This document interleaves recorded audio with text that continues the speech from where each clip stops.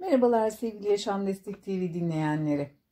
Şimdi bu videomda ben size bilinçaltından bahsedeceğim. Muhteşem bir oluşum bilinçaltı. Gerçekten insanlığı ayakta tutan e, çok çok önemli bir olgu. Aslında e, bu konuyla ilgili e, çok öncelerden çok bilgim olmadan bazı şeyleri tabii ki insanoğlu hayata geçiriyor ama bu konularla ilgili bilginiz olduktan sonra bütün hayatınızı sorguluyorsunuz, düşünüyorsunuz etraflıca ve e, gerçekte bilinçaltımızın bize neler yaptırdığını ya da yaptırmadığını fark ediyorsunuz. Hayatımıza yön vermek istiyorsak bilinçaltımızı iyi kullanmalıyız. Onu iyi tanımalıyız, iyi yönlendirmeliyiz. Mutlaka bu konuda da bilginiz olması gerekiyor. Sevgili dinleyenler öncelikle eğer videomu beğendiyseniz abone olmayı unutmayın diye eklemek istiyorum. Ee, daha sonra da videomun ana başlıklarına geçmek istiyorum. Şimdi bilinçaltı dedik. Zihin beden bütünlüğünde kişinin iletişim programıdır bilinçaltı. Beyni vücudu yöneten bilgisayar gibi düşündüğümüzde bilinçaltı bilgisayarın yazılım programıdır. O kadar ciddi bir durum ki yazılım programı olmadığı noktada aslında bilgisayarda pek bir işe yaramıyor. Şimdi bilinçaltı anne karnından itibaren başlayan yazılımın ana hedefi bedeni kollamak, korumak, hayatta tutmak ve türünün devamlılığını sağlamaktır esasında budur. Tüm canlılarda türün devamlılığını sağlamak bilinçaltıyla mümkündür. Orada öğrendiklerimizle hayata geçiriyoruz aslında bütün yaşadığımız her şeyi. Doğarken bembeyaz bir sayfadır bilinçaltı. Anne karnında aslında başlamış. O anne karnındaki bilinçaltı nedir? Anneye olan düşkünlüktür. Annenin size zarar vermeyeceğidir. Annenin sizi sevmesidir, işte kollamasıdır vesaire. Bu tarz bilgiler hep çocuğun işte beynine aslında bilinçaltına işler. Anne karnındayken anneye olan sevgiyle bağlılıkla bir kere doğarız. Yani durup dururken olmaz bunlar bilinçaltıyla olur. Daha sonra dünyaya gelmeye geldikten sonra e, yazılmaya başlar. Aklın devrede olmadığı 0-10 yaş arası oluşan yazılımlar kişinin inancı haline gelir ve inançlar üzerinde düşünmediğimiz mutlak doğrularımızdır. Nedir mutlak doğrularımız? Hep böyle anılarımıza dayalı öğretilerimiz vardır. Ee, hep bir şeyler bize böyle kağıtla kalemle birisi karşımıza geçip tek tek söyleyerek öğretilmemiştir. Biz bazı şeyleri artık yaşayarak, görerek, fark ederek öğrenmişizdir. İşte bütün bunların ana sebebi bilinçaltıdır. Ee, mesela işte çocukken sobaya elimizdeydi, sıcak bir şey elimizdeydi. İşte e, çay, çay bardağını kontrol etmeden içtik vesaire ve yandık. Ağzımız yandı, elimiz yandı, kolumuz yandı her neyse yandık. Ama işte burada ne öğrendik? E, elimizi sobaya değdirmememiz gerektiğini, yanan sobaya değdirmememiz gerektiğini, işte bardağı kontrol etmeden çayı içmememiz gerektiğini vesaire. Dolayısıyla bilinçaltı duyguları üretir ve stoklar. Küçükken e, örneğin eteği açılan bir kız çocuğu dayak yediyse, azarlandıysa, bu konuyla ilgili horlandıysa, ayıplandıysa, 20 e, yaşında açılırsa bir rüzgardan bir şeyden açıldığında hemen kendini o andaki kötü duyguları e, hisseder. E, üzerinde o baskıyı hisseder, ezilmişliği hisseder ve gerçekten utanır ve o konuyla ilgili o anda da ona söylenen şeyleri direkt kabul eder. Yani biri yine onu ayıplarsa işte eteğin açıldı niye dikkat etmiyorsun vesaire gibi şeyler söylerse yani rüzgardır, oldu, açıldı demek yerine e, kendi kabuğuna çekilir ve atıyorum işte eşi bu konuda azarladıysa onun bu azarı yapma yetkisinin olduğunu düşünerek sesini çıkarmaz ve onun altında da ezilir. Çünkü e, ne olmuştur? E, o an bloke olmuş enerji titreşime geçer. Bilinçaltındaki bloke olmuş enerji titreşime geçer e, ve bilinçaltı devreye girmiştir. Zaten hayata şöyle bir baktığımızda zaten evrenin de titreşimlerden ibaret olduğu artık kanıtlanmıştır. Bütün bilim adamları bu konuda e, makaleler düzenlemiştir. Titreşimden var olduğunu söyler. Dolayısıyla bilinçaltını yönlendirmek, işte e, bilinçaltına güzel mesajları iletmek vesaire gibi konularda da birçok insanlar çalışmalar yapmışlardır.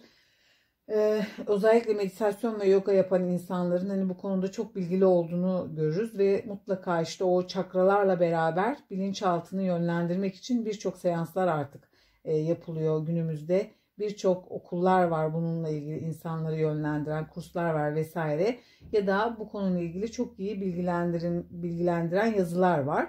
E, çakraların açık tutulması, titreşimlerin iyi olması, hayata yön verebilme yeteneğimizin olduğu vesaire gibi konularda gerçekten bilinçaltının devreye girdiğini ve hayatımıza onunla birlikte yön verdiğimizi fark ediyoruz.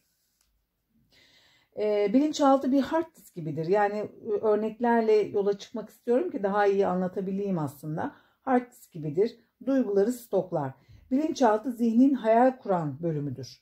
Yani hayal kurduğunuz noktada, güzel hayaller kurduğunuzda gerçekten güzel şeylerle karşılaştığınızı, kötü hayaller kurduğunuzda da kötü şeylerle karşılaştığınızı birçok defa zaten kendi hayatımızda e, bunun örneklerini yaşamışızdır, tecrübe etmişizdir.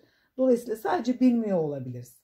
Yani bilmediğimiz noktada da işte e, kendi kendimizi eziyet ettiğimiz noktaların olduğunu görüyoruz. Bilerek hareket edersek çok daha farklı bir şekilde hayatı yaşayacağımızın da e, farkına varmamız gerekiyor ve bunu öğreniyoruz aslında. Ne dedik? Bilinçaltı zihnin hayal kuran bölümüdür. Hayaller hayata yön verir. Hayaller doğrultusunda davranışlar ortaya çıkar. Olumlu hayal kurmak başarının anahtarıdır. Gerçekten hayatınızda hep olumlu hayaller kurun. Sorgulamayın, devamını sorgulamayın. Nasıl olacak, niye olacak, kim sebep olacak, e, atıyorum çok zengin olmak istiyoruz, çok başarılı olmak istiyoruz, okulumuzu bitirmek istiyoruz, üniversitede o şu e, bölümde okumak istiyoruz. Bunların hepsinin hayalini sanki yaşıyormuş gibi, o anın içindeymişsiniz gibi hayal kurun. Hayal kurmak gerçekten başarının anahtarıdır diye bir söz vardır ya. Aslında bilinçaltından yola çıkılarak söylenmiş bir sözdür bu. Ee, başarının yarısıdır ya da işte başlamak başarının yarısıdır vesaire gibi sözler vardır hayatımızda. Hiç de boşa söylenmiş şeyler değildir bunlar. Lütfen güzel şeyler hayal edin, kötü şeyleri aklınızdan çıkarın. Bir kere çocuklarımızın hayal kurmasına izin vermeliyiz. Kendi kendine oyun kurmasına izin vermeliyiz. Yani sürekli ne saçmalıyorsun, böyle bir şey mi söylenir, nereden çıktı şimdi bu vesaire gibi şeyler asla ve asla çocuklara kullanılmamalıdır. E, çünkü şöyle bir şey söyleyeyim, e, ben birçok videom, birçok e, videodan önce bir e, üstün zeka ile ilgili video yapmıştım. Ve orada da e, üstün zekalı çocukların bizden çok farklı, bizlerden normal insanoğlundan çok farklı düşündüklerini söylemiştim. Vaktiniz olursa o videomu da dinlemenizi rica ederim. Orada da fark ediyorsunuz ki zaten size saçmalık gelen şeyi bazen inanılmaz derecede karşınızdaki insanın dahi olduğunu, parlak olduğunu ya da üstün zekalı olarak size aslında cevap verdiğini biz fark ediyor biliyoruz. Yani bizim e, bu zekamızla bizim bu kadar bir kapasitemiz vardır ve onun söylediklerini algılayamıyor olabiliriz. Değil mi? Neden olmasın? Yani bir de böyle düşünmek var. O yüzden lütfen çocuklarımızı hayal kurmaya teşvik edelim bir kere. Hayal kurdukları zaman onları azarlamayalım. Onlara neler saçmalıyorsun hiç böyle şey olur mu aman boş ver şimdi onun sırası mı? Ee, daha o, önünde çok yol var. Ee, daha şimdi üniversiteyle mi ilgili düşünüyorsun? Daha sen bir hele şu okulu bitir de işte şu sınava gir de vesaire gibi asla ve asla cümlelerimizle onları baskılamayalım. Baskıladığımız her çocuk başarısızlık olarak geri bize dönecektir. Buna da emin olun lütfen. Bilinçaltı otomatik davranışlarımızı yönetir. Nedir bunlar? Mesela araba sürmek, bisiklete binmek, işte yazı yazmak, yemek yemek, su içmek. Ee, yani günlük hayatta öğrenilecek şeylerin hepsi aslında bilinçaltından kaynaklanan bir şeydir. Bilinçaltı sizi bu anlamda yönlendirir. Alışkanlıklarınızı da bu, bu anlamda e, fark ettirmeden aslında bir alışkanlık kazandırmıştır çoktan size. Ee, başarısızlığımızın arkasında da bilinçaltı vardır. Başarımızın arkasında da bilinçaltı vardır. Mutluluğumuzda bilinçaltının rolü vardır. Mutsuzluğumuzda da bilinçaltının rolü vardır. O yüzden lütfen her zaman ve her şekilde olumlu bakmak, iyi düşünmek, iyi çağırmak bunlar hep hayatımızda aslında dilimize pelesik olmuş şeyler ama hayata geçirmekte belki de zorlanıyoruz. Belki de çok üstün körü konuşuyoruz aslında. Ee, olum, aman olumlu düşünelim olumlu olsun. Evet olumlu düşün. O anda başla, düşünmeye başla. Yani dilimizden her çıkan şey aslında e, bedenimizde bir şekilde aklımızda yer etmesine vesile olmamız gerekiyor. Şimdi yani boş konuşup geçmememiz gerekiyor. Evet telkinler çok önemli. Telkinde de bulunurken mutlaka ve mutlaka olacak şeyleri aslında hayal ederek yapmamız gerekiyor. Bizim de zaten e, yani yaşadığımız topraklardan gelen bir alışkanlığımız vardır. Bir şeyi 40 kere söylersen olur. Evet gerçekten olur. Ona inanarak söylersen olur. Olumsuz da düşünürsen olur. Olumlu da düşünürsen olur. 40 kere dedikleri artık bir sayıdır. Bir e, gözlemlenmiş bir şeydir belki.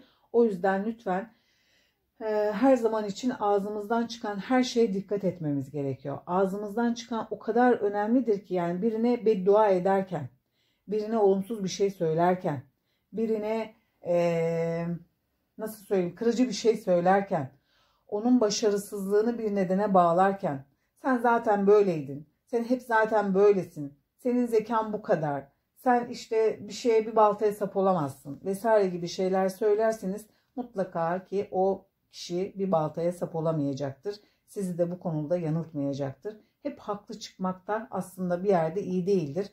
Haksız çıkmak da önemlidir. O yüzden çevremizdeki insanlar önce kendimizden başlayarak değişime e, daha sonradaki çevredeki insanları değiştirebiliriz bu konuyla ilgili. Önemli olan da çocuklarımızın yetişme tarzıdır. O yüzden hep deriz ya anne baba işte küçükken çocuğunun yanında olmalıdır. Anne ile büyüyen çocuk sevgiyle büyür, işte özgüvenle büyür, e, hayatta daha başarılı olur. E, yani artık bunları uzmanların söylemesine gerek yoktur. Bunları biz de gözlemlemişizdir. Neden? Çünkü anne ile büyüyen çocuk özgüvenli olur. Çünkü yanında anne onu sever.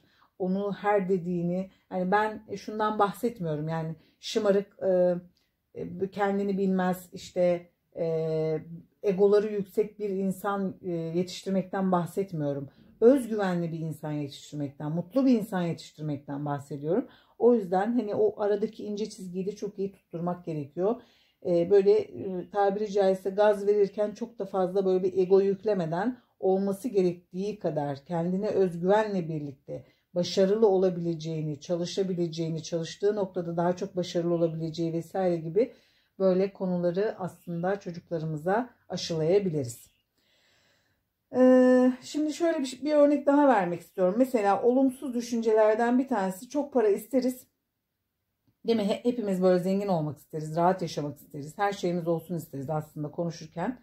Ama bizim için e, olumsuz kodlamalar vardır. Mesela şöyle bir örnek vereyim. Çok mal haramsız olmaz. Azıcık aşım ağrısız başım. Çok para insana azdırır. Aman işte kocan zengin olursa zaten hani gözü dışarıda olur. Başka kadınlara gider. İşte e, zenginlik e, mutluluk getirmez gibi cümleler bizim aslında olumsuz kodlanmış cümlelerdir beynimize ve biz aslında çok parayı isterken direkt bunlar devreye girer. Biz bunları zikrederiz, söyleriz toplulukta, bir arkadaşımızla sohbette vesairede e, hep bunları zikrettiğimiz için aslında bilinçaltı olumsuz düşünür. Nerede bizde o şans? Ama para parayı çeker. Bizim zaten hani parayla işimiz olmaz. Ben zaten azla yetinen bir insanım. E, işte e, bir tane çiçek dahi olsa e, sevinirim, mutlu olurum ama büyük bir şeye gerek yok. Çok para harcamaya gerek yok. Bir oda olsun benim olsun. Mesela bu çok büyük bir yanlıştır. İsterken her zaman e, layık olduğunuz şekilde isteyin. Yani bir oda olsun benim olsun değil de güzel bir evim olsun. Ee, ben o evin içerisinde mutlu, huzurlu olayım. Bir sıkıntım olmasın. Değil mi? Ee, evet geçimim için gereken para olsun. Fazlası da olsun. Etrafımdaki insanlarla da paylaşabileyim. O özgürlüğüm olsun. Sevdiğim insanlarla da e, bir derdinin derman olabileyim. Yani bunları da istemek ayıp değildir, günah değildir. Ee, ya zaten bizim e, inancımız gereği de Müslümanlıkta da zaten Allah şunu söylüyor kuluna. E, kulum iste, yeter ki iste ben sana veririm diyor. O yüzden lütfen istek kapılarınızı hep açık tutun. Hep olumlu konuşun. Ağzınızdan çıkan şeylere çok dikkat edin. Çünkü bilinçaltımız asla ve asla uyumaz. Her şeyi emir telakki eder. Biz uyuruz, o uyumaz. Yani şöyle söyleyeyim. E, bilin, bilinçaltı e, gerçekle hayali ayırt edemez. E, siz hayal mi kuruyorsunuz, ne yapıyorsunuz farkında olmaz. E, sadece söylenenleri sizin düşündüğünüz şekilde alır ve uygulamaya başlar. Ee, o yüzden şunu söylemek istiyorum. Uyumadan önce mutlaka güzel bir şey hayal ederek e, uyuyun. E, mesela bir arabanız mı olsun istiyorsunuz? O arabanın belki kafanızda bir marka bile vardır. O arabanın sizin olduğunuzu hayal edin. Onunla işte gezmeye çıktığınızı, ailenizle beraber işte içinde çok mutlu müzik dinleyerek işte sahile gittiğinizi, geldiğinizi, piknik yaptığınızı vesaireyi onları hayal edin. E, ve o şekilde uyuyun. Bilinçaltı bunu sanki varmış gibi alıyor ve olması için elinden gelen her şeyi de yapıyor. Hayatımızda onu bize sunuyor.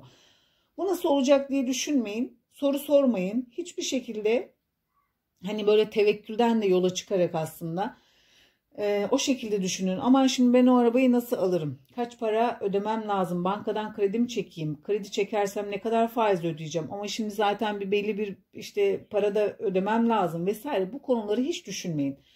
Kurmak parayla değil. Ben sadece hayalinizi kurun, sorgulamayın, devamını düşünmeyin. Siz sadece hayal kurarak uyuyun. O gece o bilinçaltınıza işleyecektir ve bilinçaltınız onun gerçekleşmesi için elinden gelen her şeyi yapacaktır. Şimdi aynı şey olumsuzluklar için de geçerlidir. Ee, uyumadan önce olumsuz ne düşünürseniz bir bakmışsınız ki gece kabuslar görmeye başlamışsınız değil mi? Dolayısıyla o kadar çok yüklenirsiniz ki kendinize bilinçaltınız artık daralır, bunalır ve size artık kabuslar göstermeye başlar. O yüzden lütfen her zaman e, tekrar tekrar söylüyorum hem güzel konuşmak, olumlu konuşmak, çevremizdekilere olumlu davranmak, e, olumlu şeyler aşılamak, kendimize de öyle. Aklımızdan kötü şeyler e, bir kere geçtiği anda hemen değiştirelim. Mutlaka kendimizi iyi düşünmeye zorlayalım. Anlık zorlayamıyor muyuz? Bunu bir seans haline getirebilirsiniz. Hemen odanıza çekilebilirsiniz. Bunu tekrar tekrar tekrarlayabilirsiniz. Yani çünkü ağzınızdan çıkan şeyler de bir noktadan sonra alışkanlığa dönüştüğü için e, ve bilinç altında mesela 21 sayısı vardır. Olması için 21 sayısını e, kullanın, 21 kere yapın, e, 21 gün üst üste yapın. Yani bunlar işte hani bu meditasyonda vesairede geçerlidir aslında. E, ve inanarak bunları yapın ve bilinç altına harekete geçireceğini bildiğiniz için sürekli tekrarlayın. Olumsuz düşündüğünüz şeyi kafanızdan çıkarın. Olumlu olmasını ne istiyorsanız e, onu tekrarlamaya gayret edin. Yani şunu istiyorum ben sizden. Hayatın size güzellikle, kolaylıkla en güzel şekilde, en muhteşem şekilde geleceğine inanın ve bunu mutlaka kendinize sürekli sürekli tekrarlayın. Bakın beyin neye inanıyorsa beden de onu gerçekleştirir. Ee, vücudumuz mesela acılar için endorfin e, salgılar. Endorfin nedir? Doğal morfindir. Yani aslında dışarıdan alınacak her şeyi aslında vücut kendini e, salgılar. Mutluluk hormonu salgılar, işte doğal morfin salgılar. E, biz ne düşünürsek bilinçaltımıza ne yerleştirecek vücut, vücut buna karşılık koymaya çalışır elinden geldiği kadar. Onu da yormamaya çalışalım. Onu da her zaman çok yüklenmemeye çalışalım. Dolayısıyla vücudu hep zinde, mutlu tutmaya çalışırsak gerçekten de çok güzel salgılar da bulunacak, salgılayacak ve bizi zaten mutlu eden şeyleri kendisi vücudumuz oluşturacaktır. Şimdi şöyle bir şey söyleyeyim. Yine örneklerden yola çıkmak istiyorum ki daha iyi anlatabileyim. E, çünkü bu konular çok böyle derya deniz yani o kadar da kolay konular değil. E, bir çırpıda da böyle anlatılıp üstünden geçilecek de konular değil. Ben sadece daha yalın bir dille anlatmak istiyorum ki daha iyi akılda kalsın diye. Şöyle e, ne yersem yarıyor. Çok yanlış bir cümle. Ne yersem yarıyor diyen herkesse bir bakın kiloludur. Mutlaka kiloludur. O yüzden lütfen olumsuz konuşmayın. Vücudunuza olumsuz telkinlerde bulunmayın. Dediğim konu budur. Nerede bende o şans? Asla ve asla öyle söylemeyin. Şanslısınız. Neden sizde o şans olmasın? Diğer insanların farkı ne sizde şans olmasın? Dolayısıyla hep iyi çağırın. Kendinizin iyiye layık olduğunu düşünün. Kesinlikle ve kesinlikle kötü şeyler, olumsuz şeyler bilinçaltınıza yerleştirmeyin diyorum. İyi telkinlerde bulunun. Bilinçaltı uyumaz diyorum. Biz duyuyoruz, o uyumaz. Ee, öncelikle e, inşallah yardımcı olabilmişimdir. Bu konuyla ilgili yazılar var, makaleler var. İşte bu konuyla ilgilenen gerçekten bunu artık e, eğitimlerini almış, gerçek anlamda bu konuya e, hakim olmuş insanlar var. Dolayısıyla iyi bir şekilde araştırıp e, kendinizi bu konuda daha iyi geliştirebilirsiniz. Ben umarım e, sizin için bir başlangıç olurum. E, bilinçaltının önemini elimden geldiği kadar vurgulamaya çalıştım. size de yalın bir dille anlatmaya çalıştım ki hayatın içinden örnekler vererek çok daha kolay anlamanız açısından, e, çevrenizdekilere de anlatmanız açısından. E, bu konuda bilgisi olanlar da benimle yine e, duygularını, düşüncelerini paylaşırsa çok mutlu olurum. Beni takip ettiğiniz için çok teşekkür ediyorum. Sevgiler, saygılar efendim. Hoşçakalın.